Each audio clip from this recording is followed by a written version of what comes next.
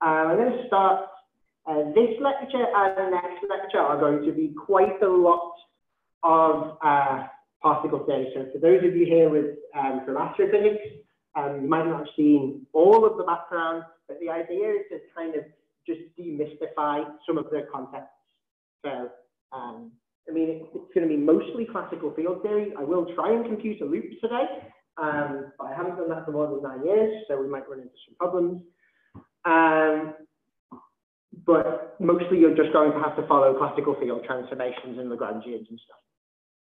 And so today, QCD axions, tomorrow, axions and string theory, and then we'll go on to more like traditionally astrophysics and cosmology things. Okay, so the QCD axion. Damn, my slide advancer doesn't work. Nothing works. Right, okay, so I've got some um, selected reading. Uh, the stuff I won't tell you about the uh, instanton gas are in Coleman um, and QFT uh, background, Srednicki and Zee. Zee is very good for intuitive feelings about QFT. If you have no QFT background at all, um, I recommend just kind of reading Zee when you're on the train or something like that. It's a very readable book, um, but not like technical. Okay, so um, the QCD theta term, this is where we're going to start. This is the term in the uh, Lagrangian for QCD. And there is practically a total derivative and doesn't affect the equations of motion as long as theta is a constant. So I'll explain what these terms are. So G nu is the gluon field strength tensor. It has an index A because there are eight gluons um, corresponding to the eight dimensions of SU3 the color group. So that so it's um, unitary three by three matrices, um, complex um, but unitary. So that takes you down to a squared um, degrees of freedom in that matrix, minus one because it's special unitary. So there are eight of these field strength tensors. And these FABC are the structure constants of SU3. And this tells you that the gluons have uh, self-interactions because of this, this quadratic term here. Okay, so this is, the, uh, this is what I just said. The SU3 index runs over the eight gluons, the generators of the um, algebraic representation of SU3, and these FABC are the structure constants of the algebra. This is where the bar gets annoying. Um, uh, so the indices, so this um, thing here, G mu with a twiddle on it, um, has had its indices raised using the totally antisymmetric tensor epsilon. And that means that when, when we put this term into the usual um, action Lagrangian density, it does not depend on the metric at all. So the raising has a 1 over square root minus g, which cancels the square root minus g in the action d4x square root minus g. This term doesn't depend on the metric at all. It only depends on the topology of the space-time. Because you're always allowed to use epsilon to raise indices. You don't have to use the metric. Okay? So, CP violation. And we need to talk about CP violation and how this can, can lead to it. So C is charge conjugation, P is parity, reversing the spatial directions. Uh, quantum field theories have to obey what's called the CPT theorem. It has to be invariant under the combination of charge, parity, and time reversal. So that means if you have P and T violation, you have to have CP violation. So if you're odd under PT, you have to also be odd under CP to be even under the total CPT transformation. So let's consider what this looks like in electromagnetism.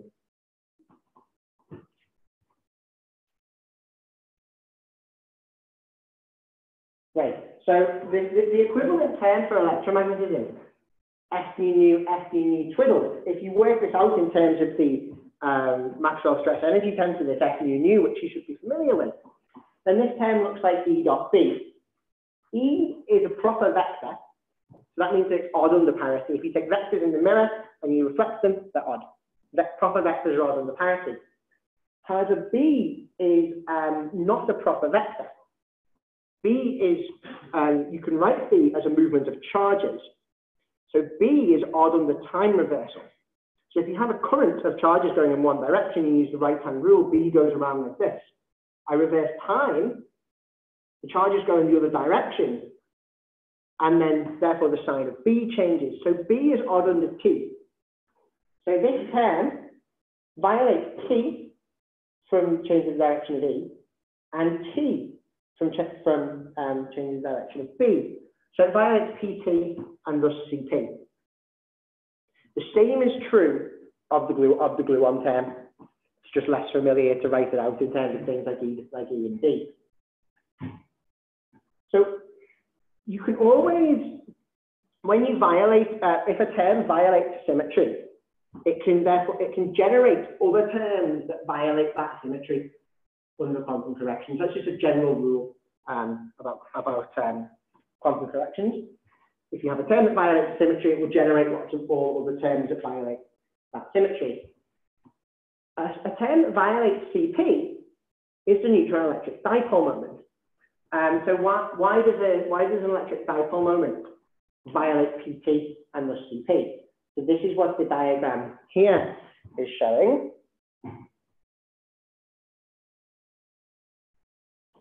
So the diagram here shows you a d dipole moment, an electric dipole moment, and a mu magnetic dipole moment. For the reasons I said before, the, the uh, magnetic field does not change sign under parity, but the, but the electric field does. So mu goes up, d goes down. Under T, D remains where it is, the, the electric dipole moment, but mu changes direction. So this thing, the, the uh, electric dipole moment, D and, D and mu in the same direction, violates T and violates T. Thus it violates T um, individually. Thus it violates PT and thus CP. My don't work. So, what I just said before, in QFT, operators in the theory generate all terms consistent with symmetry, thus the term generates a neutron electric dipole moment. The uh, QCD theta term, it, was computed in the 70s, just what the number is for the electric dipole moment of the neutron that it generates. And it generates this term. So this is the electric dipole moment for the neutron. It has the units E charge on the electron centimeters, um, and you generate 3.6 times 10 to the minus 16 times whatever this number theta was in your Lagrangian. So, the, the electric dipole moment on the neutron has been measured, and it has been measured for many, many years. Um, I just got this plot for its measurements off Wikipedia. So this is the value of the neutron dipole moment measured as a function of year of publication. So already in the 1950s, it was known that the electric dipole moment of the neutron in these units is smaller than 10 to the minus 19. So from the previous slide, theta was smaller than 10 to the minus 3. And this only got worse by orders and orders of magnitude up until today, where we know that theta, well, we know the electric dipole moment of the neutron is at least as small as 10 to the minus 26 e centimeters. So this number theta has to be smaller than 10 to the minus 10.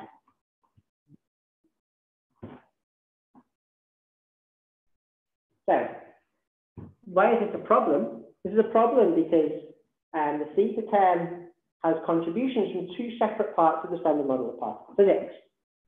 We have this term, the total term theta, has the term that I wrote down before, this kind of bare QCD contribution, just a number you're allowed to write down because this G, this uh, GG dual term um, is consistent with all the symmetries of the standard model.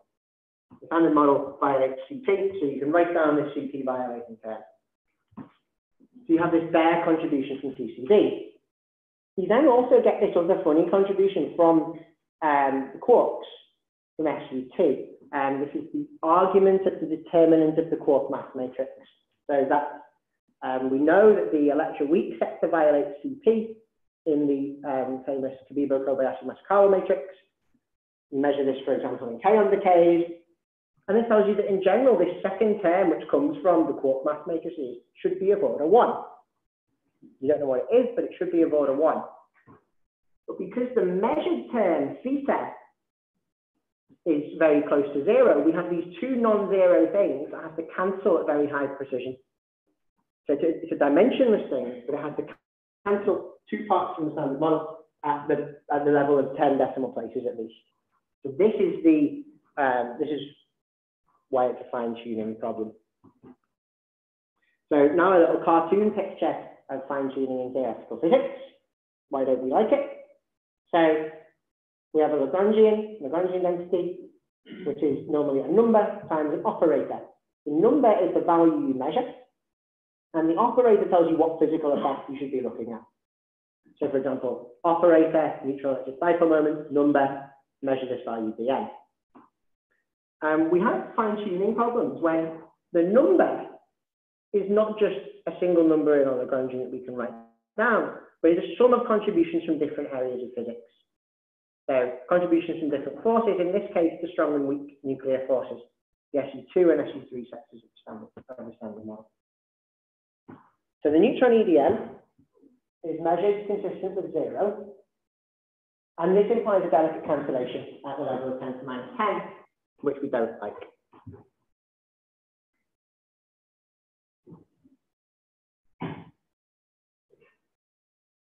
so, how does this get solved? Again, in a kind of cartoon way. So we have spontaneous symmetry breaking. Spontaneous symmetry breaking, we, we get a Goldstone boson theta, which has some continuous shift symmetry. So that's like, you have this spontaneous symmetry breaking potential here. Around the bottom in the vacuum, there is a, there is a symmetry field that corresponds to motions around this circle that the action doesn't depend on. The trick is to get this thing, this, this field theta to couple to your problematic number. So this of course only works if your number is defined modulo 2 pi, just like theta. And that's part of the trick with these, with these types of operators. So you have a number, and you make it number plus your field theta. But then because nothing cares about the value of this field theta, you can just absorb the number into a, into a field redefinition of theta. So now you just end up with a field where before you had a number. And that's the trick. The next thing that comes in to clean up the mess, and we're going to do this like in different levels of detail. So if you don't follow it now, you'll follow it as we go on. The next thing we have to do is we have to actually break this symmetry for theta. So we do this with something called an instanton that tilts the potential and causes the field to roll down to this value. So we tilt this wine bottle potential and theta dynamically moves to, the, to its value zero, which is here, and we have no problematic neutron electric dipole moment. So this is, they're the ingredients of how the axion solves the problem of the, of the neutron EDM, which we're now going to go into in more detail. So we need a shift symmetry. So we need a field theta that is invariant under shift by some constant number. We then need to arrange our theory such that this field theta couples to the term in the action that we had before, where we had this problematic number in front of an operator. And the final thing we need to do is, is have some other dynamics that give the potential to this field theta. So what we do is we have a Goldstone boson. That gives us a field with a shift symmetry for some, for some global U1 symmetry. Then we introduce loops of chiral fermions that make this that make this symmetry, uh, this U1 symmetry anomalous, and couple theta to, to the um, to the gluon term, to this GG dual term in QCD. And then finally, QCD does the job for us of making the potential for V theta um, when QCD becomes strongly coupled. So non-perturbative effects in QCD do this for us. So we're going to do this in more and more detail. What's spontaneous symmetry breaking? So, we, so we introduced a new complex field that has symmetry. So this is the Peccei-Quinn, the so-called Peccei-Quinn mechanism. It's achieved by introducing a new complex scalar field, curly phi, which I'm going to write as a modulus chi and a phase phi over Fa. So I, I'm going to be using, as I said, different units um, to what Jens is using. I will always use units where h bar equals c equals 1. And my fields will either have mass dimension 1, the canonically normalized field, phi, or I'll use a dimensionless field phi over f as a Goldstone boson. And either all my fields are always going to be dimensionless Goldstone boson uh, or mass dimension 1. I will never use any other dimension for a field. Okay, so then we write down a potential for this complex field phi, which has the following form. This is the normal symmetry breaking potential. So this and this term uh, has, when phi is equal to zero, has some positive energy density, that's the middle of the wine bottle, and the punt, I think it's called. Um, but this potential is minimized when phi takes a non-zero value equal to f over root 2. Okay? But this potential only depends on the modulus of phi and not on its phase. Because this, this potential doesn't depend on the phase of phi, it has a symmetry, which is multiplication by any member of the group you want. That just means multiply by phase.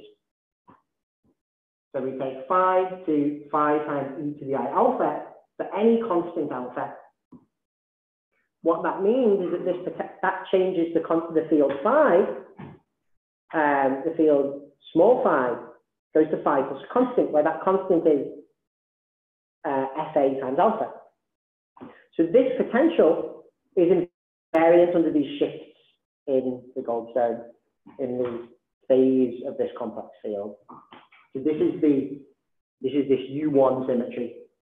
This element here is the alpha is an element of the group U1. So spontaneous symmetry breaking. If the temperature, the typical scale of fluctuations of your complex field phi, is much larger than the decay constant, then this, is, this is FA, this decay constant, then the field doesn't see the fact that there's a minimum in the potential here. It's just fluctuating and it's localized at zero. It has dev zero. It just sees the large part. And then I write it like this. However, when the temperature drops to smaller than the scale of the potential, now the field can see that there is a minimum.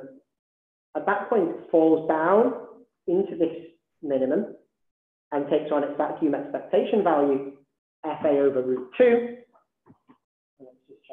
missing anything. Yeah, and then we have this field theta, phi over Fa, which corresponds to motion around the bottom of the wine bottle.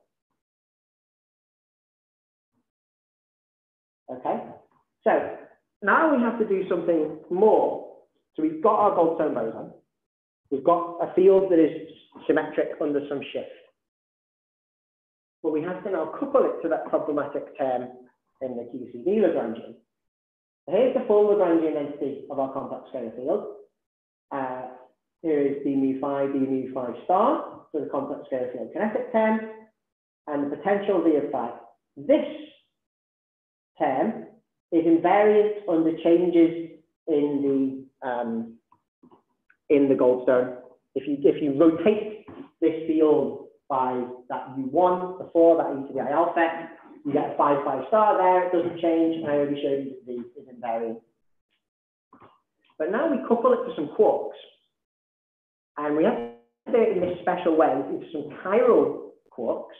So this is psi, some fermion field, which has two components, a left term and a right term. And the left term and right term are picked out by the projection operators, P left, right, and they can be written in terms of the gamma matrix gamma 5. Gamma 5 is just some 4 by 4 um, matrix that acts on this um, spin on the side.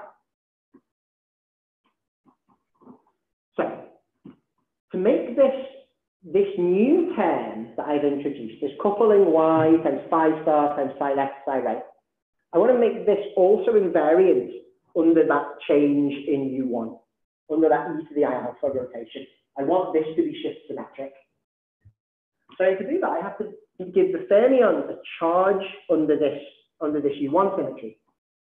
So What, what does the charge mean? A charge just means that when I make such a rotation, the fermion fields also change.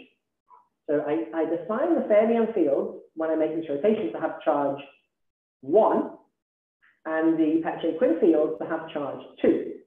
So here, I make some rotation. This thing goes to e to the minus i 2q alpha, the psi star here. The psi left and psi right pick up different rotations. So you write this gamma 5 as a sum of p left um, minus p right. The left and right handed fermions have different charges under this U1 symmetry, such that I get 2q in the phase for my psi star, and I get minus 2q in the phase for psi star, and plus 2q from the rotation on psi left and psi right. So that this whole term doesn't change when I make that Peccei-Quinn rotation parameter alpha. This is now a global symmetry of this action, of this global U1 symmetry. And we know that when we have global symmetries, we have conserved currents from there to there. And this symmetry is chiral, that affects, fermions that are left and right-handed in different ways. And so we have a chiral, uh, the conservation of a chiral code. So here's my field phi, I have a conserved current, J mu PQ, and the conserved current of this symmetry is the derivative of the phase, derivative of the phase, phi, phi. That's just saying that this field phi is invariant under this constant shift. You can see that if I make, if I add any constant to phi, this the, the derivative kills it. So that's why this current is, is corresponding to that. And the equation of motion for phi, phi is a massless field, so its equation of motion is just d mu phi, d mu phi equals zero. d mu, d mu phi equals zero. If you have a massless field Lagrangian, that's its equation of motion. And for this current, J mu PQ, it, it obviously has vanishing divergence just from the equation of motion for phi. There's a conserved current.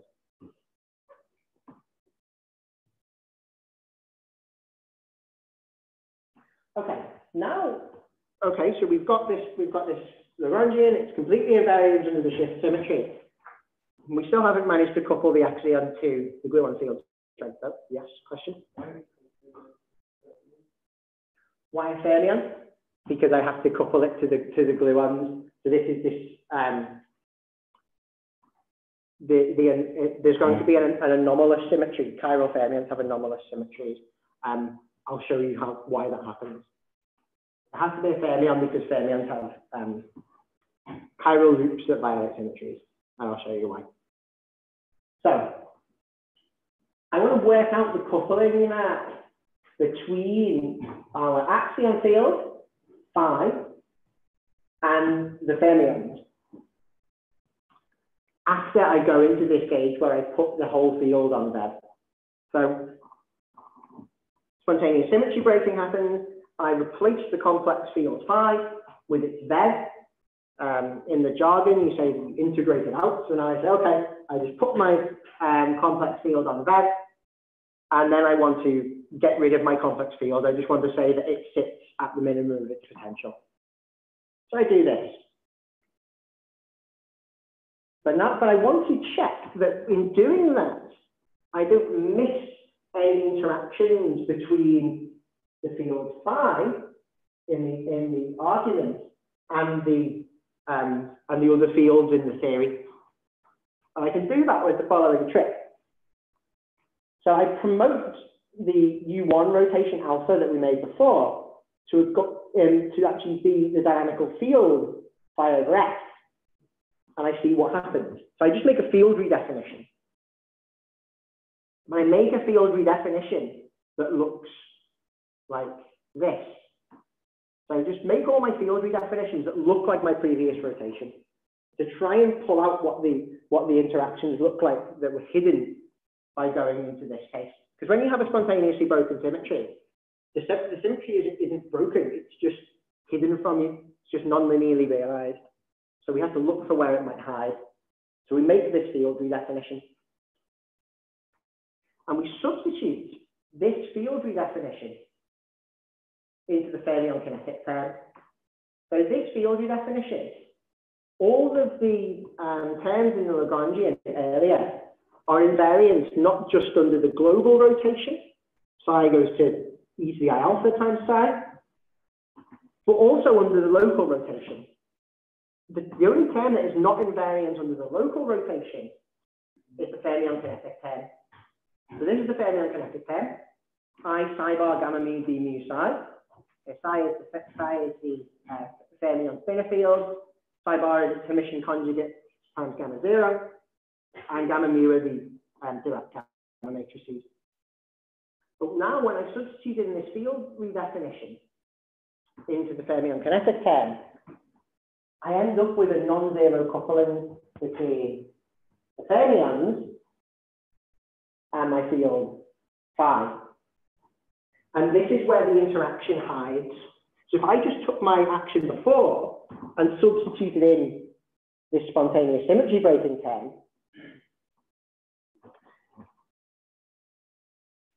then let me just do that. So if you just substituted in, put this field phi on red, then you would see no interactions between the um, Peccei-Quinn field and fermions.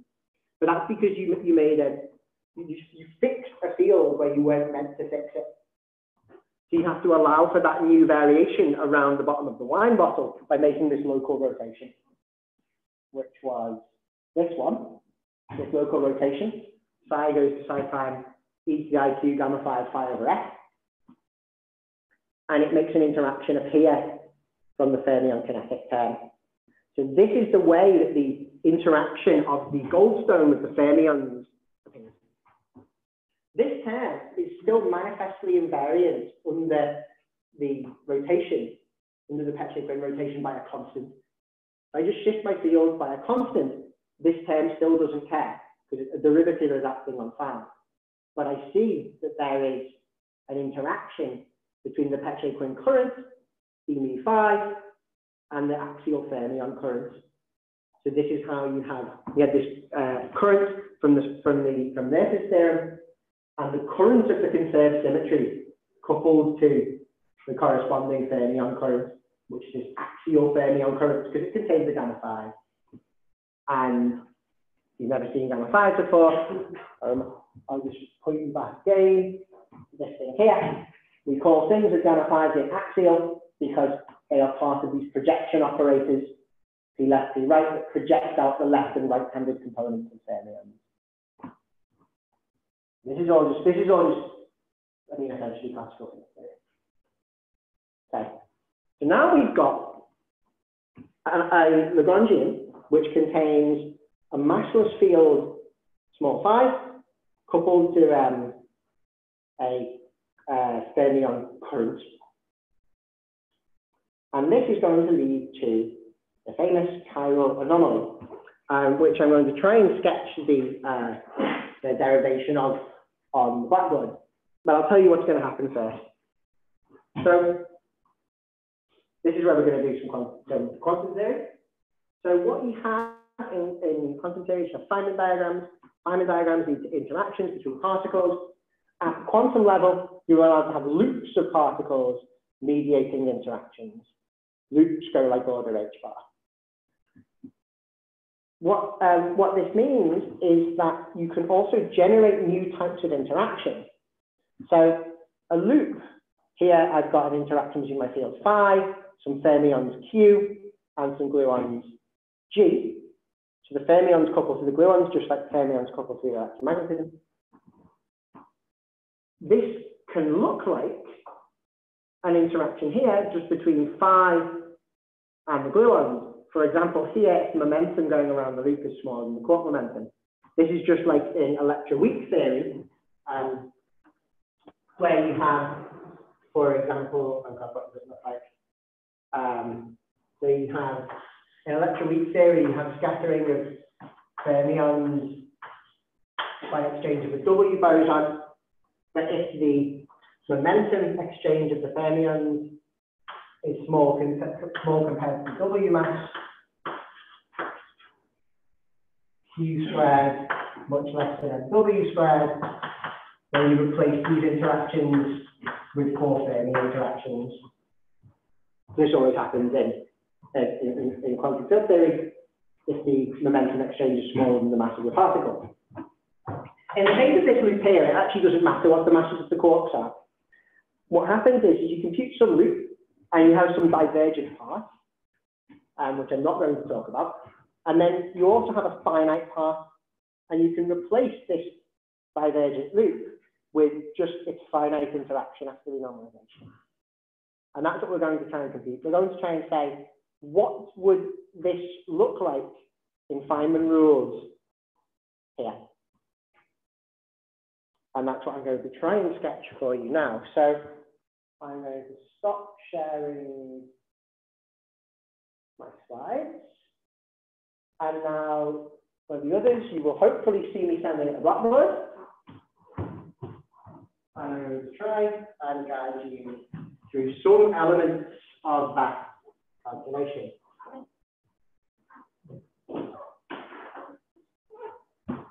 Which I don't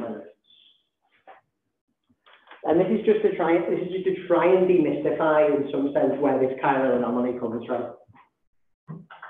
So in order to, to in order to do some make some progress here, we need to write down the Feynman rules. So the Feynman rules just tell you how to turn those squiggly diagrams that are a little bit intuitive into mathematical expressions. So the ones we're going to need are this rule, which says what happens when we have an external scalar. That equals one. External scalar is just don't do anything. We say what happens when we have an interaction between two fermions and a gauge boson, in this case, gluon. And gluon A is this is equal to I, G, where G is the coupling with your, of your gauge group, gamma mu gamma matrix, TA, those generators that we saw before.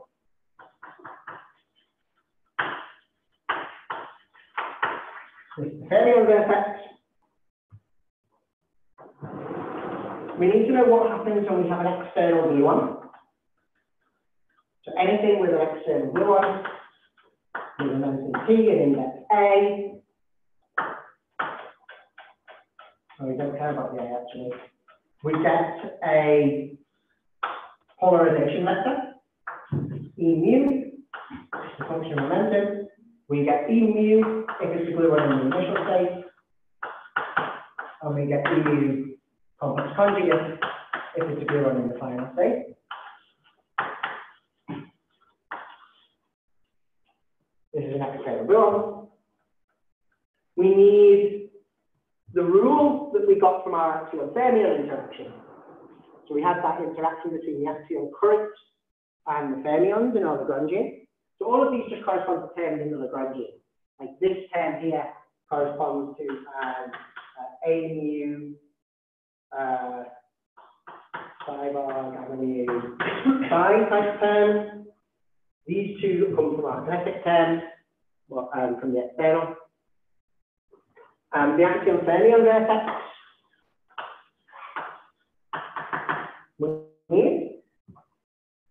this is equal to minus i q over f. P mu gamma mu gamma 5 where p is momentum exchange Q is the charge of the fermions that we defined earlier. This is the axial fermion vertex. Uh, this came from the terminal Lagrangian P by psi and psi. So there are, I mean, so there are, there are rules that you can look up basically um, in any GST textbook to tell you how to tell, turn terminal Lagrangian into rules for drawing Feynman diagrams.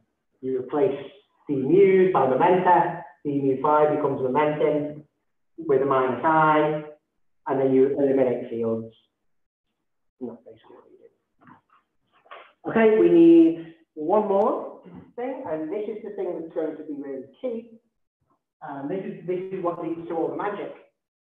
This means the fermion propagator. This is what tells us to do with fermions inside our diagram. Because everything else you just saw, right? We have a, we're going to have external scalars, external gluons, um, axial fermion vertices.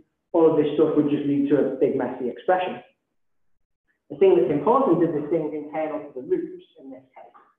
So these are our fermion propagators, which I write as I T slash plus M over T squared minus M squared, where uh, P slash, I'm going to use Dirac slash notation, where P slash is gamma mu contracted with T.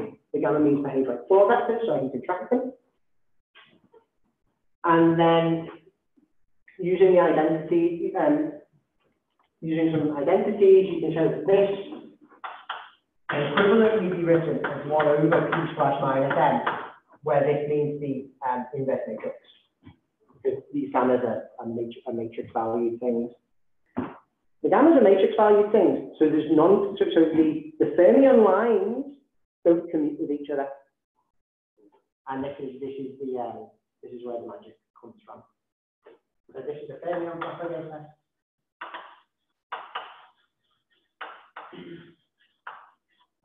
Need. Okay, I should have used the blackboard in a different order.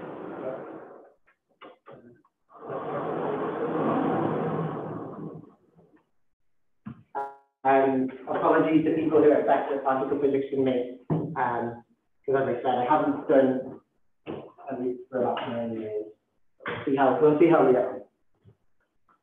Okay, so now we've written down our rules, and now we write down our diagrams, we translate our diagrams into rules, and then we, can see. The diagrams that we need, I've drawn one already. This one, I have a field phi going in, with momentum Q. I have a gluon going out with momentum P, a gluon going out with momentum K. My gluon are the vectors, so I need to get them vector indices. This one has index mu, this one has index lambda. I then need um, a momentum corresponding to the momentum that runs around the loop. So the particles in the loop can have any momentum. I, I need to introduce a momentum and integrate over it. This is something that's not really part of the Feynman rules, but kind of is. Um, suppose it is.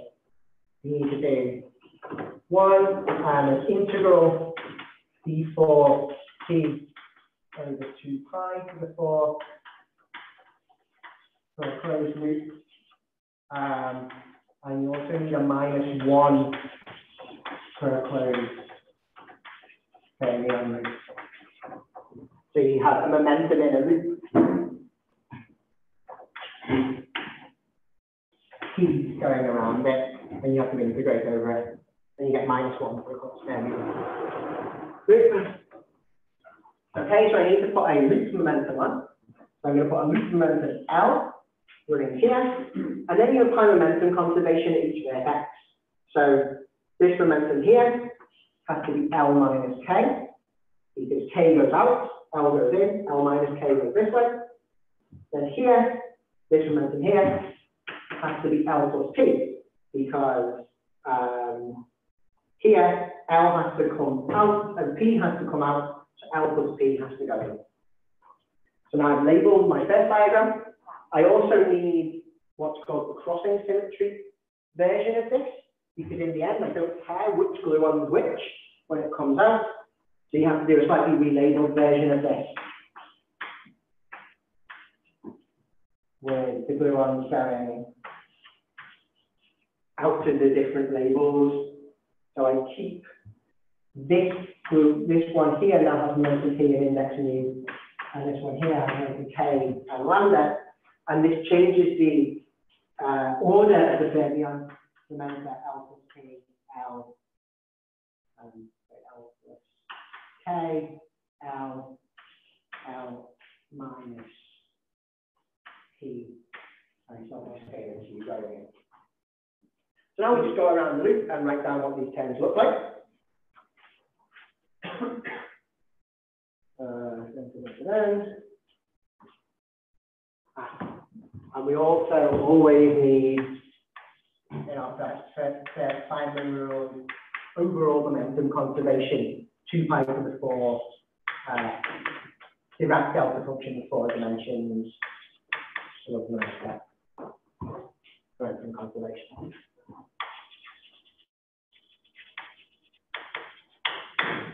So I'm going to factorize um, my loop in the following way. So I have this as equal to minus i q. This is the, from the axion fermion interaction, the axial momentum. Then I have two external gluons, so two gluon, two gluon polarizations, epsilon mu p, epsilon lambda k. Uh, my momentum conservation, 2 pi to the 4, delta 4, p plus k minus q, overall momentum conservation, and then a matrix element, which I'm going to write like this. The matrix element has to, this, this overall has to be a scalar. So my matrix element has to have three Lorentz indices, mu, mu, lambda. Um, upstairs. And now I'm going to write down what that, um, what that matrix element is. So this matrix element is for my, my two different terms now. And so I'm just going to focus on this one and then write down the second one by symmetry. Because you see that this one just involves changes between K and P and mu and lambda. Okay. So what is M? M mu lambda is equal to, so I, I still haven't used my Q over S from that vertex. So first of all, I need that. I, I need um, a minus sign of my closed fermion loop and minus Q over F. Um, I'm going to get, first of all, all the stuff that isn't a matrix.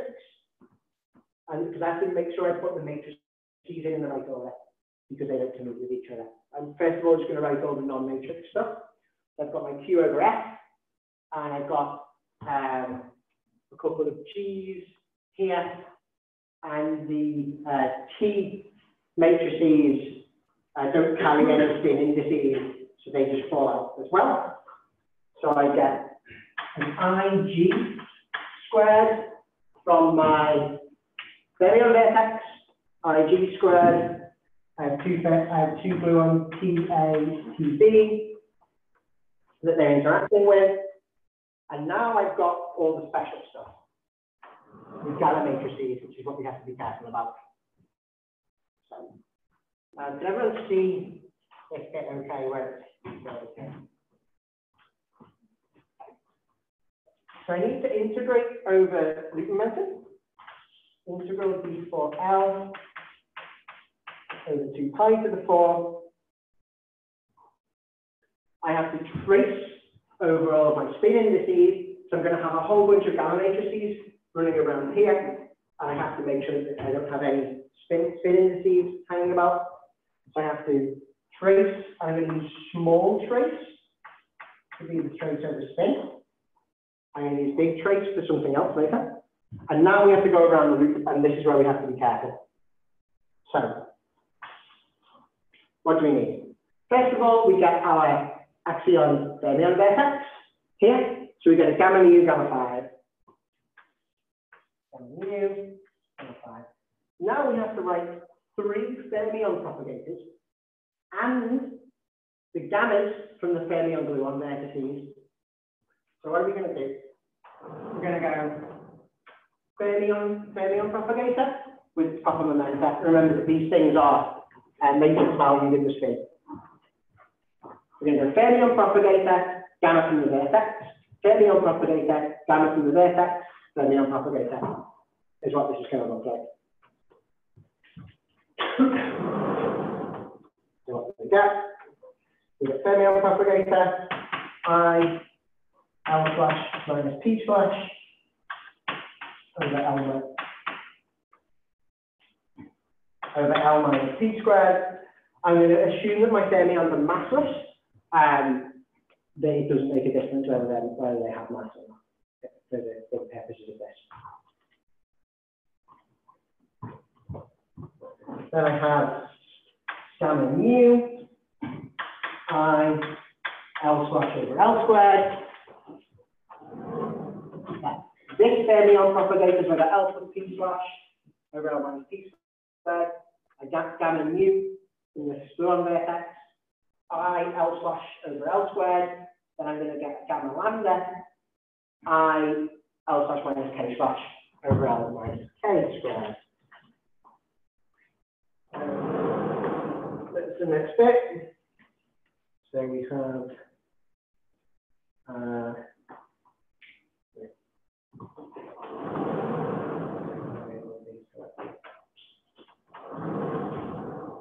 So I've got my gammas and my lambdas are all at the moment. Let's just hope for the best. I ah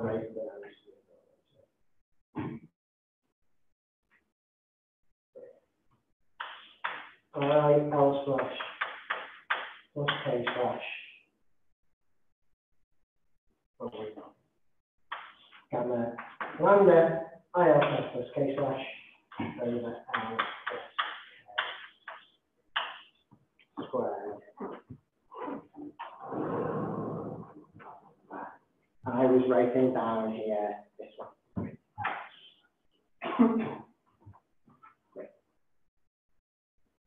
Okay? Because you have to go around the fermion loops backwards.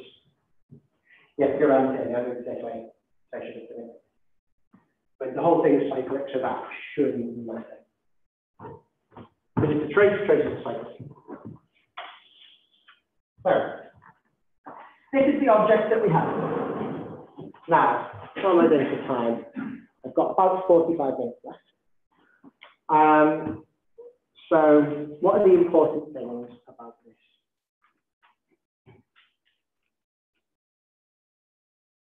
So first of all, let's think about the, the things that are to do with the particle content and the, the things that are to do with computation.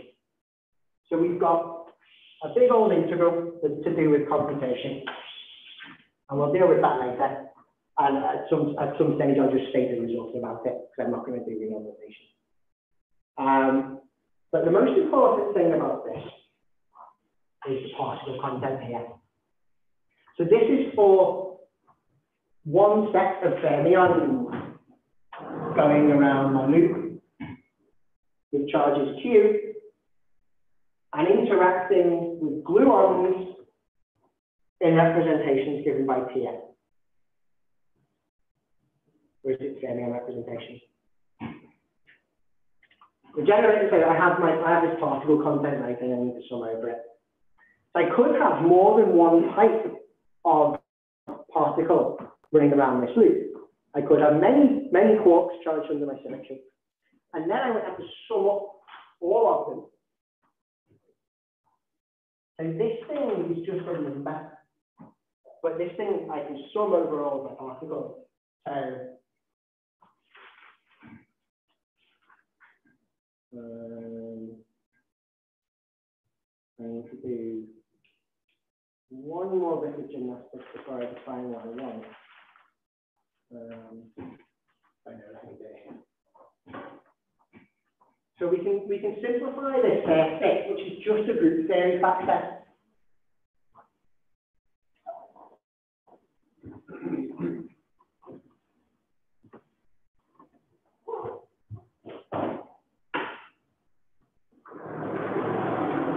So in, I'm going to have to sum over all particles sum over all Petri charged particles.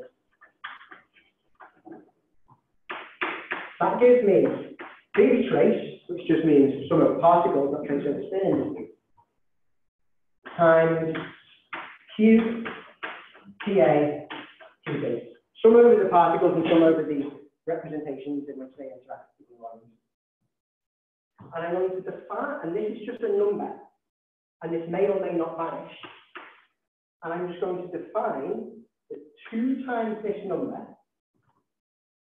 is equal to some other number C, called the color anomaly, times the Kronecker delta in the AB color indices. So this whole loop would vanish. If I had lots and lots of particles in it, I could arrange this entire loop does nothing if the sum of the particles all adds up to zero.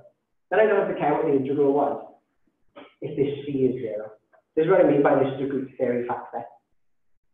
Or, but on the other hand, if that if my integral is non-zero, this is just something I can compute. And this will be the same for all theories. If this thing is non-zero, then the whole contribution of this loop to physics is determined now just by this number, which is just sum over the particle content in my theory. This is, this is, it's important to see where this structure comes from. And this thing C is called the color anomaly. Okay. So, I'm just going to simplify integrals a little bit. We're going to get the structure of it. Um, we want to get it to the structure, and then I'll, I won't bother evaluating it numerically. Okay. So, first of all, in my form matrix element, we are contracting the matrix element of Q Q mu contracts with this matrix element. And I've got a gamma mu, gamma 5 inside my integral. So by writing, by using the momentum conservation, I'm writing Q equals T plus K. I have my overall momentum conserving delta function. Q goes in, P and K go out, so Q has to equal P plus K. I can write Q mu gamma mu gamma 5 as equal to P slash plus L slash plus K slash minus L slash times gamma 5 Q with gamma mu gives me slashes. I've got Q is equal to P plus K. So I just added and subtracted out. When I do this, um, uh, this is where I should have written the right one here. So I should have had an L minus K, and L minus K, L plus P, L plus P, Okay? And I use my identity from before with Feynman rules. My identity before from the Feynman rule was that I t slash plus m over p squared minus m squared was equal to i over p slash minus m. And notice that this Q mu contraction, Q mu, gamma mu, gamma 5, I can get two slashes, two contributions of slashes upstairs that cancel contributions from slashes downstairs and fermion propagations. I get one term that cancels one part and one term that cancels another. Okay, so I, I split this integral into two pieces one that has um, one fewer fermion propagator cancel from the other. Okay?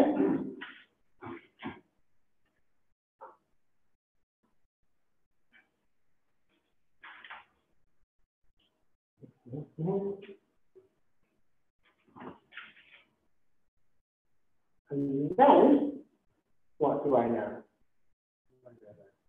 So I've cancelled two factors of gamma matrices. So how many, how many gamma matrices did I have in this row? I had gamma mu, gamma nu, gamma lambda. That's three. But then I had three propagators.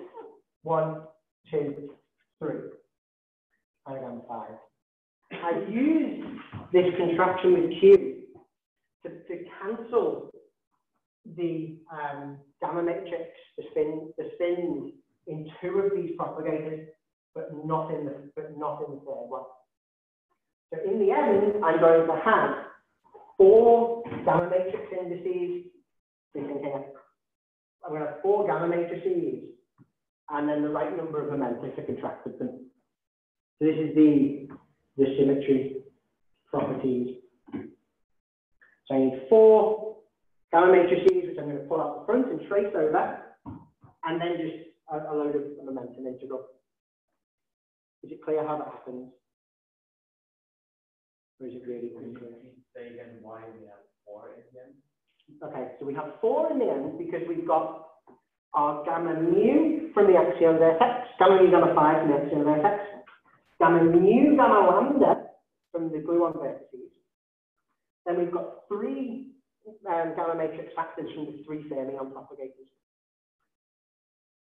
However, I contracted this Q mu gamma mu to kill two of.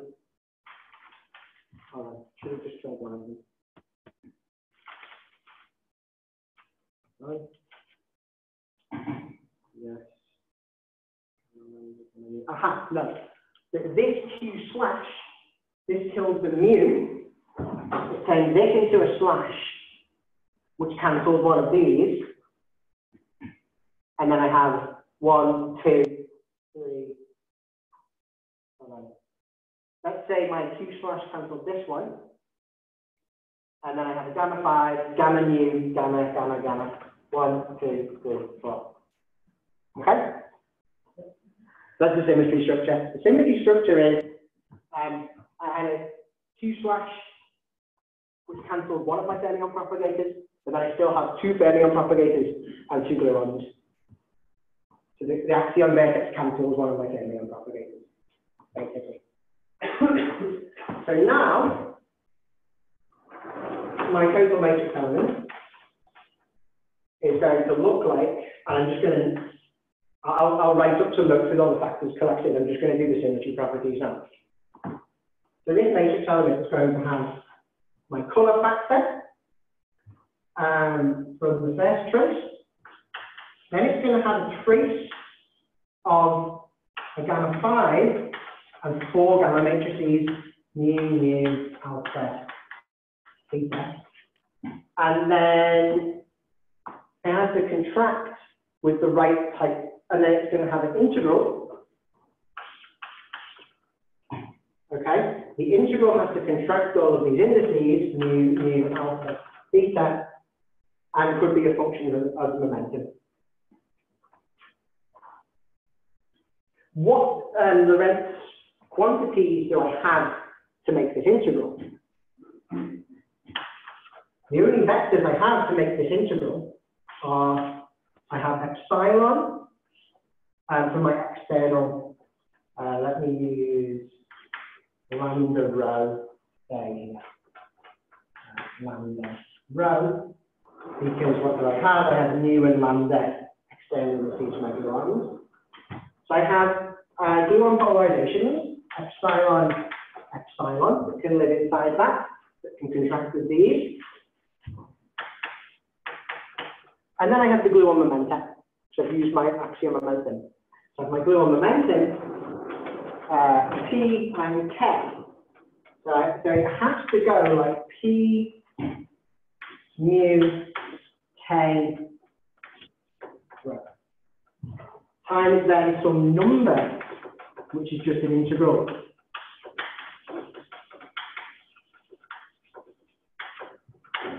Okay? So we've written down now all of the symmetry structure of this, of this matrix element. Color anomaly, trace over four gamma matrices times gamma five, external gluons. The only Lorentz vectors that are available to us are P and K, so they have to do the rest of the contracting by symmetry, and then some integral. The integral turns out to be divergent, and you have to evaluate it in, say, um, dimensional regularization, um, which you can see in Peskin and Schroeder, or something like that. And the point is that this has a finite contribution. There is a finite contribution to this that doesn't vanish from the normalization. And the, the thing I have to show you now, just to make everything right, is what is the result for this trace and these. So you notice first that these epsilons and p's are exactly what you get for external gluons interacting with things. So these, if you wanted Feynman rules for these, you'd have an F mu nu, gluon with momentum P and polarization epsilon, and an F mu mu, gluon with momentum K and polarization epsilon lambda. So you would get this Lorentz structure from a terminal Lagrangian that just had two um, gluon field strengths. The final piece of the puzzle is the trace. And the trace is really the special thing.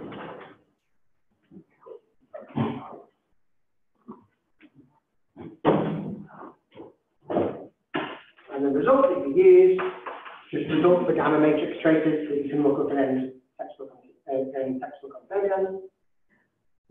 The rule is trace gamma five, gamma mu, gamma mu, gamma sigma, and gamma lambda, gamma rho, equal to minus four i mu mu lambda.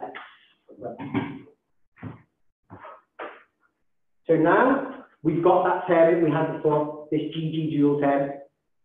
You now recognize this thing. So our matrix element looks like we could get it has C, 4i epsilon mu mu rho mu mu lambda uh, rho epsilon mu p uh, lambda epsilon mu is that right epsilon mu p mu epsilon lambda k rho. So we could get the Feynman rule for that. At tree level.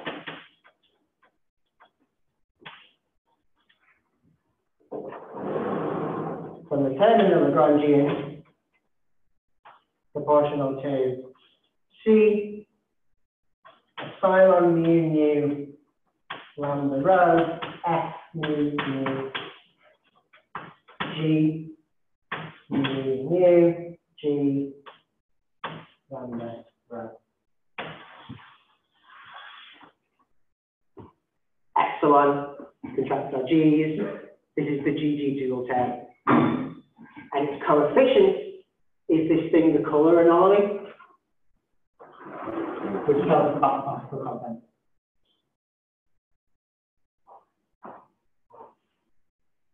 Okay?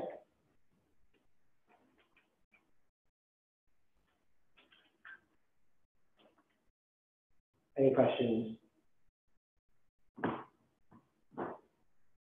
We wrote down our stru- we symmetry structure in terms of particles. We wrote down our spin structure in terms of how many gamma matrices do we have.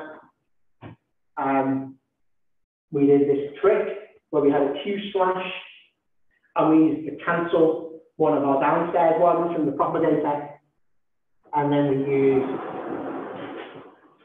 this identity, the traces to give us an epsilon and this metric tensor. Okay? Didn't you have a five or a?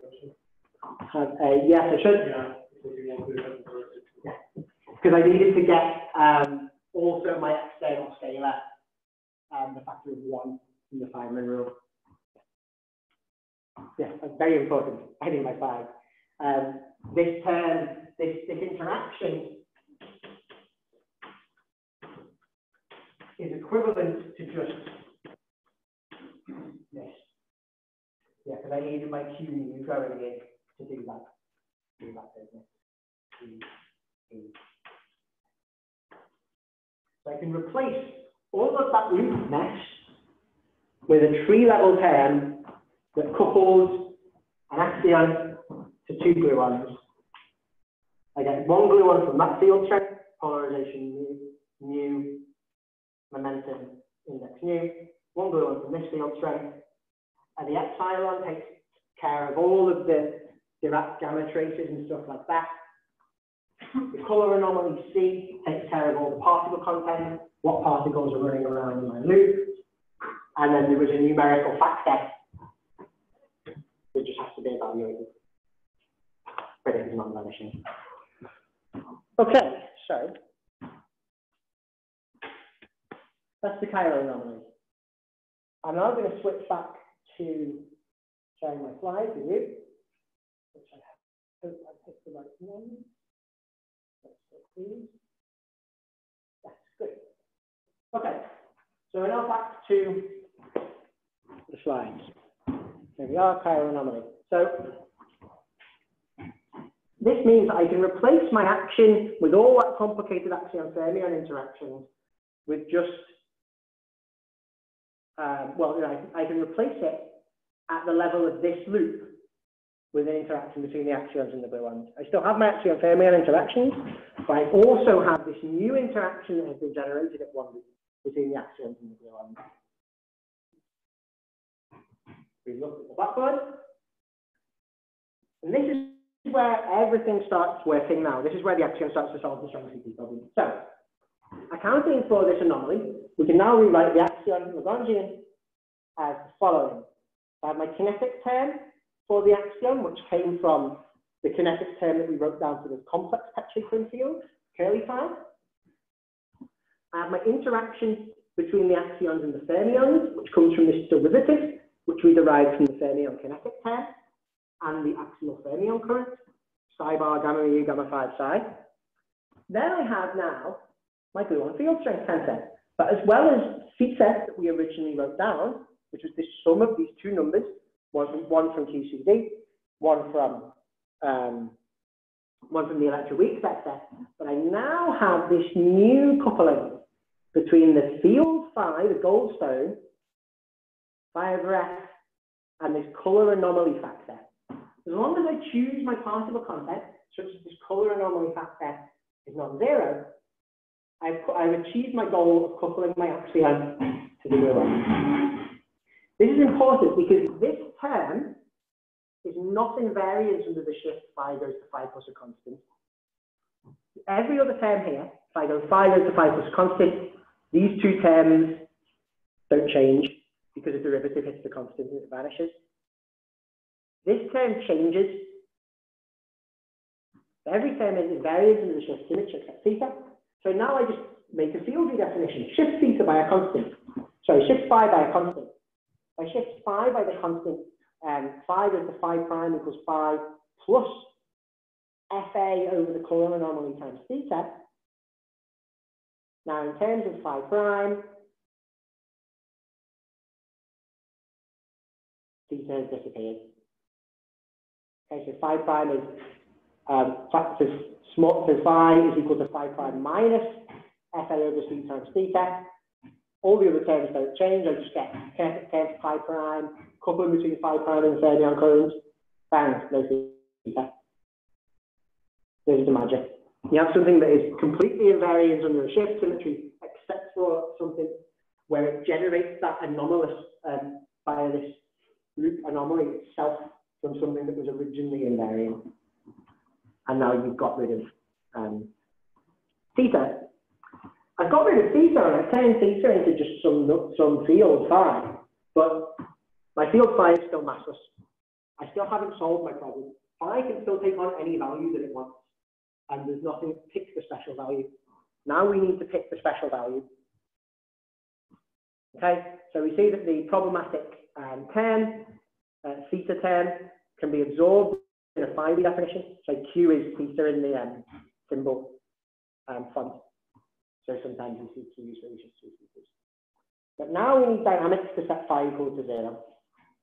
So now enter these strange, uh, these strange beasts called instantons. And we need to find a potential for the axion. So, even if we didn't have an axion, and this is what was known before Quinn came along, even if we didn't have an axion, the vacuum energy actually depends on this term theta. So um, if theta is a constant, the classical equations of motion do not depend on theta. You can work them out. You could work it out to the, to say the electromagnetic version where I had theta E dot B, work out the equivalence of Maxwell's equations, this new term. Nothing appears in the equations of motion if theta is a constant. But at the quantum mechanical level, something does happen.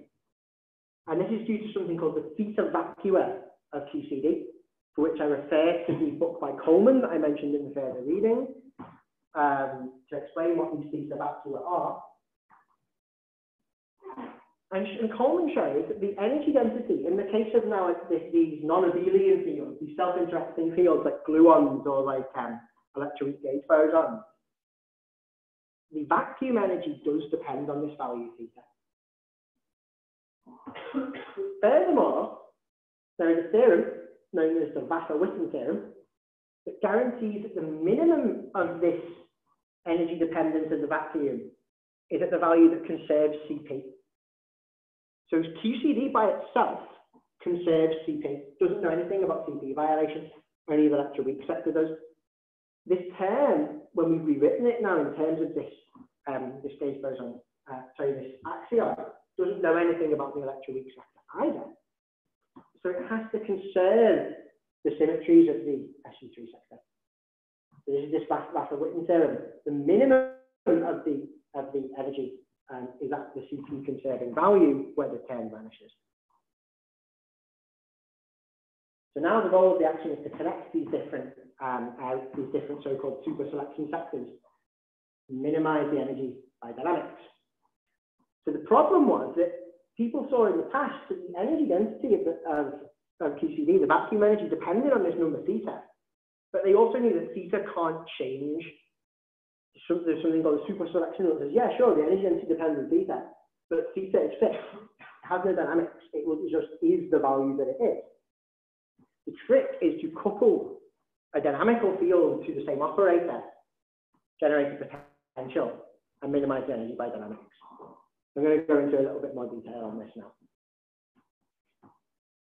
So what we do is the vacuum energy depends on theta. We rewrite our Lagrangian as an effective Lagrangian, which is the Lagrangian before, minus this vacuum energy, because we, we subtract off potentials. And now we've got a dynamical field. This is equivalent to having a potential for phi. So if you find that your that your vacuum energy depends on some parameter, you can just put that back, put the vacuum energy into your Lagrangian as a potential for that um, value. And in this case, it would depend on the field phi, which we have coupled to the operator. So, what do we know about this vacuum energy? So, this is derived in some approximation um, in Coleman, and you, and you can see it. Uh, but I will just state some facts about it. The potential must be periodic. Um, so that's because uh, theta is angular. So, so this, so this, um, our Goldstone boson has to come, because it's a complex field, it has to come back to itself when we rotate once in the complex plane. So the potential has to be periodic. The potential for phi has to come back to itself under this shift by phi goes to 5 plus 2 pi times the decay constant. Because, yeah, theta is phi over f. So the appearance of this potential is not something that you will see in perturbation theory, not something that appears from loops to non-perturbative effects in QCD. Um, but the magnitude should therefore depend on the strong coupling scale of QCD, the only scale available. The potential we write as some dimension, so potentials have mass dimension four um, in natural units. So we write it as some dimension four thing, chi, called the topological susceptibility, which has mass dimension four, times a dimensionless periodic function. We know that this, um, this effect is, um, is non-perturbative um, for QCD. So at zero temperature, when QCD becomes strongly coupled, it should be avoided the strong coupling scale of QCD to the fourth power. Those are the right units. At zero temperature, QCD is strongly coupled. This goes like under the fourth. At infinite temperature, QCD is um, asymptotically free, weakly interacting, so the non-perturbative effects should vanish. So at infinite temperature, this thing has to go to zero. These are, these are obvious statements um, when you think about QCD. So we have to calculate the function u. We have to calculate this scale, lambda, and we know that, this, that the topological susceptibility goes to zero at infinite temperature because of asymptotic freedom. And this function chi, in general, also needs calculating what is its temperature dependent. But we know it's asymptotic behavior. So have I got about 15 minutes left? Okay, we will get to where we need to get to. Okay. So first of all, what's the axion mass? We can get the mass from this. So U, we know that this potential U has a minimum. Um, and we know that it has a minimum at the CP conserving value 5 equals 0. That was from the Vafa theorem. So any potential with a minimum we can expand around its minimum, make a Taylor expansion. And the first term will go like pi squared. Okay, at a minimum, the first derivative vanishes. So you just have a term that goes like pi squared. And that means that you get a mass. So is that clear to everybody? Does anyone know why that? Okay. Okay, good. So we expand the potential to quadratic order, we get a potential that looks like now pi squared. So that's the mass term. so if chi goes like lambda QCD to the 4, I expand this, I get phi squared over f squared. So I get lambda to the 4 over f squared times phi squared. So lambda to the 4 over f squared is the mass. So you could do this just dimensional analysis argument and get the mass 4 times 10 to the minus 5 eV times 10 to the 12 GeV over the decay constant for the axion mass. This is the this is the estimate that was done in in um, Wilczek's paper in 1978. Um, just just dimensional analysis basically of lambda QCD. Um, you can get a little bit more details on this if you do what's called chiral perturbation theory, um, which is um, done in more detail in, in Weinberg's uh, 78 paper. And there you find that this isn't actually lambda QCD to the 4, because it turns out that this effect that gives you these potentials would vanish, would be able to be absorbed if the quarks were massless. Um, so you have to have something in front of this that vanishes when, when, when any of the quarks become massless. And for just two light quarks, they're using these, assuming that, that you know the strange mass is much larger than the using these, and the form of this term is like this, square root mu md over mu plus md. This vanishes if either mu or md goes to zero. m pi and pi is basically lambda QCD squared. Okay, so you get something that depends on the, on the like quark masses, so you get a slightly different number. So the axion mass, you know, pretty close by order of, within an order of magnitude though. And I've just chosen a value of f to quote it at. Clearly the axion mass in this case is inversely proportional to the k constant. Chiral perturbation theory, you can also calculate the, uh, the zero temperature um, shape of the potential, and it's this complicated function here, but it's periodic in, in theta. You can also work at finite temperature. So chiral perturbation theory is working at zero temperature when you have um, when QCD is strongly coupled, you have pions as the as the relevant field. At um, finite temperature, you can do what was done in the Coleman example, or do what's called the dilute instanton gas. So QCD is um, relatively weakly coupled, but we still have this, um, these non-perturbative effects are therefore suppressed, um, but you can, you, can, you can calculate what's going on um, in this dilute instanton gas. And then the potential can be computed in a couple of pages um, in this exercise in Coleman, and you find that u of theta is equal to 1 minus cosine theta. And the important, one of the important things to say here is that this 1 is just a choice to solve the cosmological constant problem. You know that u is minus cosine theta because that's minimized at theta equals 0. 1 is just, we set the minimum to be at 0. Uh, this one has to be chosen at the precision of lambda QCD to the 4 over the current vacuum energy to the 4. So this is what this, you just choose this. That's just because we don't, we don't know how to solve the cosmological problem. But this is really yeah, lambda. Okay. Um, then again, we, we can Taylor expand the potential about the minimum, and we can write the uh, temperature dependence of the uh, topological susceptibility as a, as a temperature dependence of the axion mass.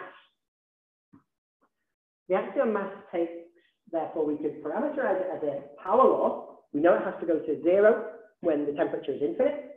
So we can write it as a power law um, compared to the scale lambda QCD. So it gets, when T is larger than lambda QCD, this mass goes to zero in this approximation, this value of instanton gas, you can actually compute this. You can compute n. You can also compute logarithmic corrections to this, which you can look up the formulae for. I can find them for you if you're interested. Um, and then there are, you know, variations on this where instead of the dilute instanton gas, you have an interacting instanton liquid, and you can calculate this, the dependence of this function um, for finite temperature. The important thing is what is the value n. Uh, this is a famous number computed, well, talked about in a review by Gross et al. in 1974.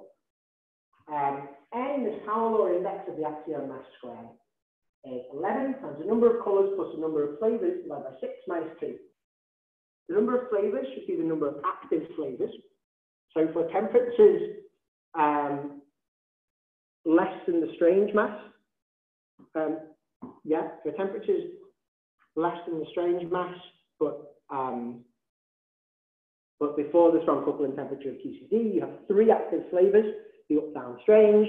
So NF is equal to three, but of course the power law will change as the, as the temperature becomes higher when you make the when you make the charm quark active, B, T, etc. So this N runs with temperature, um, but in this kind of range, between lambda QCD and about a GeV, which is the charm quark mass. You just plug in the numbers and n is equal to 4. This is a famous uh, number in this game. This just comes from QCD. But the reason I'm writing it like this is you can imagine how this generalizes. If I have some axion particle coupled into some other hidden strongly coupled sector, I can choose then the number of colors and flavors in that sector and have some different if I wanted. So let's I just plot and, and collect um, what I've just told you about the axion mass. So first of all, the potentials. This is the uh, QCD axion potential as a function of A, there A is my phi, and A over F taken from a paper by Di Cortona et al., who did the chiral perturbation theory calculations at higher order, second order, um, I think, chiral perturbation theory, the corrections. And you see that this chiral perturbation theory potential, which is in blue, and xylitons and some gas, have slightly different shapes at large values of the field near, near pi. This will be relevant when we compute the relic density later. Um, but they're the same shape near zero. Interestingly, it's not known how to go between these two.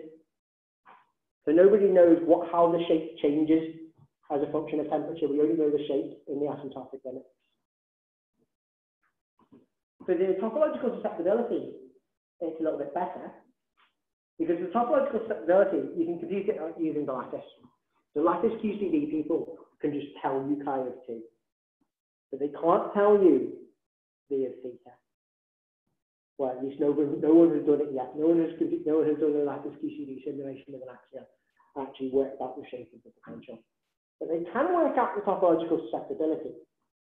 Um, so this is in a paper by Borsanyi and company, um, group in Warsaw from 2016. And they computed the temperature dependence of the topological susceptibility um, with uh, three active quarks, the up-down strange, um, on the lattice.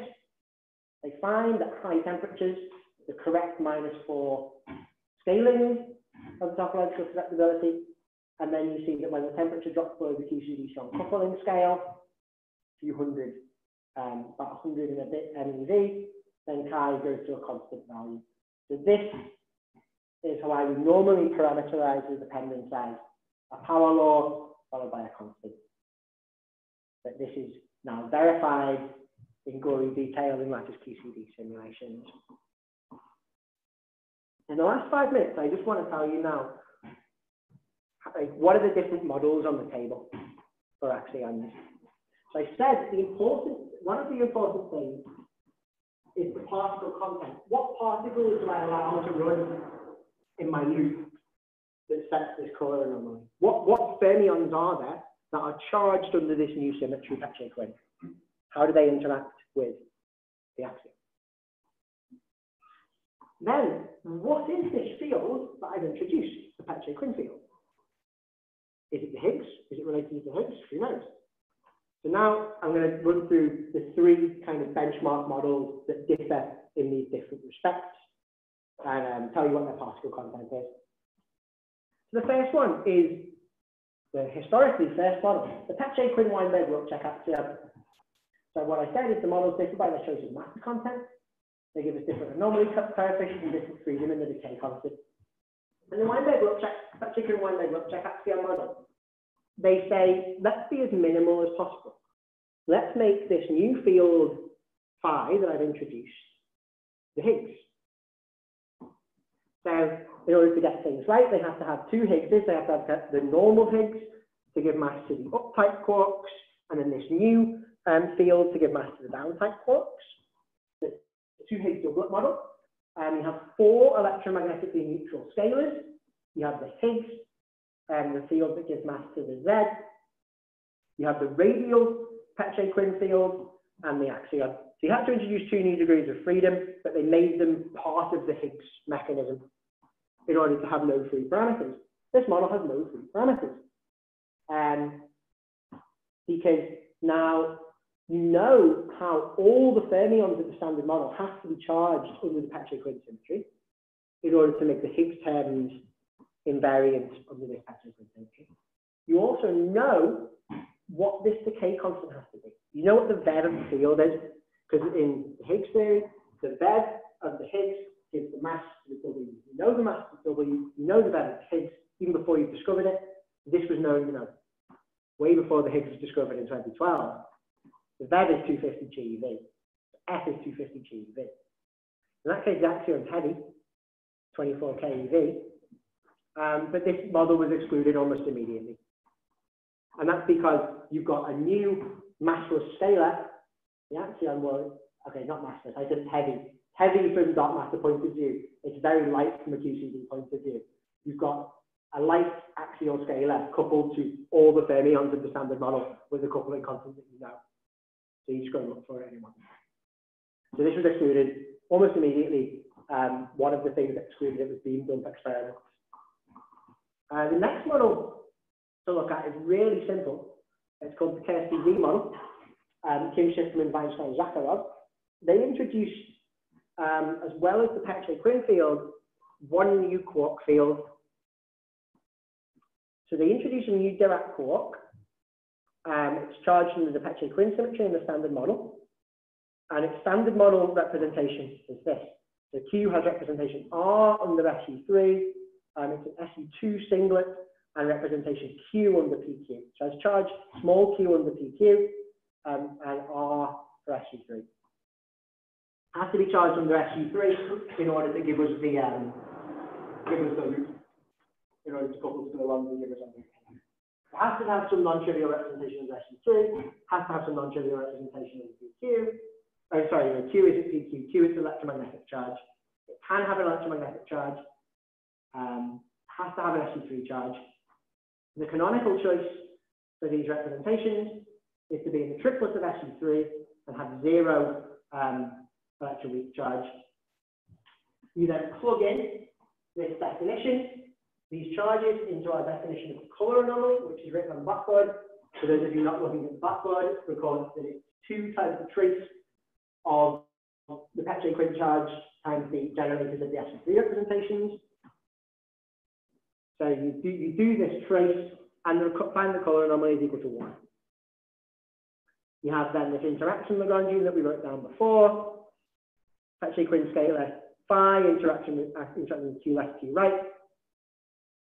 Uh, this gives mass to the Q field when the um, when the Peccei-Quinn scalar takes on vev. So the Q fit to this new quark is heavy, it has a mass of order the axion decay constant. Lambda is of order phi is of order Fa. Um, and no other particle constants, only this um, SU3 quark is charged under Peccei-Quinn symmetry. So this model is called the hadronic axion. So only you only have couplings to the to the SU3 sector. Basically, this uh, this GG dual coupling and then you generate an electromagnetic coupling that we'll talk about later. Uh, but it doesn't couple to leptons. All the couplings to leptons are, are, are suppressed. The other famous benchmark model that differs from this in two important respects is the so-called DFSZ model, um, which came out uh, slightly later than KSVZ, and Dan Fisher, and Zhitnitsky. Um, they don't introduce any new quarks, but they do introduce more scalars. So they take a variant of Peccei-Quinn Weinberg Wilczek, um, but they allow the, stand, the Peccei-Quinn field to be a standard model singlet, so it doesn't interact, it doesn't interact and have those problems of beam dump experiments. And it now has a free vev because it's not tied to the Higgs. But they allow for it that they have these two Higgs doublets that they allow to be charged in the Peccei-Quinn. So now all the interaction with the standard model is written down initially. You write down this potential here. But this tells you that the Higgses carry Peccei-Quinn charge, and thus that every single standard model fermion carries Peccei-Quinn charge. So this um, interaction V phi squared H T H D has to be invariant of the Peccei-Quinn. So phi rotates, so Higgs has to rotate, but we know Higgs interacts with standard model fermions, so they have to rotate. So to make the whole thing invariant, phi has to interact with all the standard model fermions. So now when I take my trace to define the color anomaly, I trace not just over my one new quark, but instead over all six quarks of the standard model. Up, down, um, strange charm, top, bottom.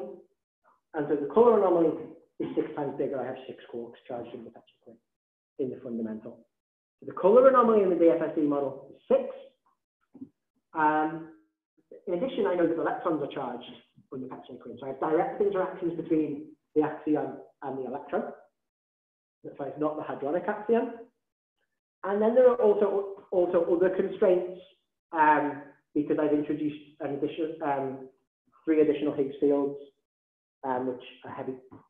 Um, but you get constraints on these from the, and you get some constraints on the, on these type of models from LHC searches for, um, two Higgs doublet models. So, in lectures nine and 10, we're going to talk about all of these constraints. We have, um, we're going to talk about astrophysical constraints from Big Bang nuclear from the beam dump experiment in 1987A. These exclude the Peccei-Quinn-Weinberg-Wilczek axion, that kind of KV method.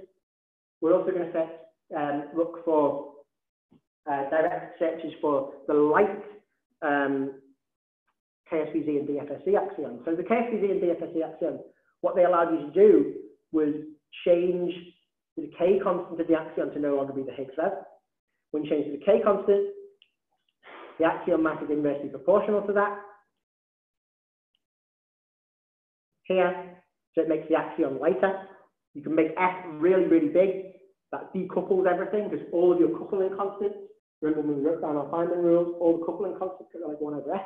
We can make F really big. We can decouple the axion and make it massless. And we'll and then we'll talk. Most of the course will be about talking talking about searches for these light axions in KSVZ and DFSZ variants, where the masses are of order micro EV and lighter for the ultralight case, but for the QCD axion, order micro EV. And we're going to talk about all of these types of searches and how we search for the QCD axion. Haloscopes, um, helioscopes, light shining through a wall, all of these. So uh, that's the end for today. And I'll see you again tomorrow at 10.15.